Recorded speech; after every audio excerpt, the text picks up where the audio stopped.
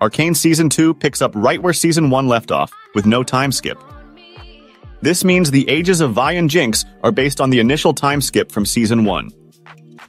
Vi is around 21 to 23 years old in Arcane Season 2.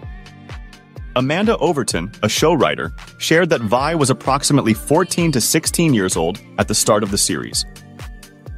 After being imprisoned for about seven years, Vi emerges as a young adult, grappling with her past and her strained relationship with her sister Jinx. Jinx, formerly known as Powder, is estimated to be between 15 and 19 years old in Season 2. Her exact age is uncertain, with varying estimates from the cast. Ella Purnell, Jinx's voice actor, mentioned she was 9 at the series' start, while Overton suggested she was 11 to 12. This places Jinx as a mid to late teen. As Arcane Season 2 unfolds, the age dynamics between Vi and Jinx add depth to their complex relationship. With tensions high, fans are eager to see how their story evolves amidst the chaos of Piltover and Zaun.